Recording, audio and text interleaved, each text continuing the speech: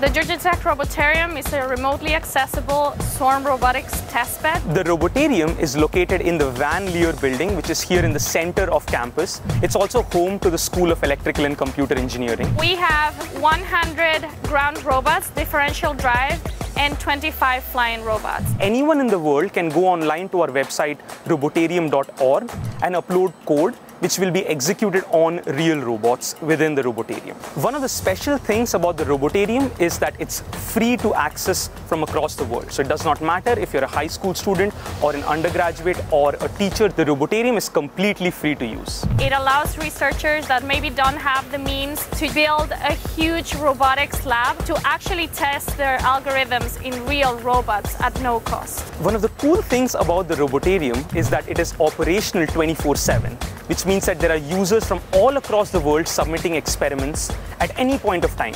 Researchers from every continent but Antarctica have used the Robotarium with their experiments. It's amazing to have these robots operating all the time in a room right beside where you work. That's just a special feeling.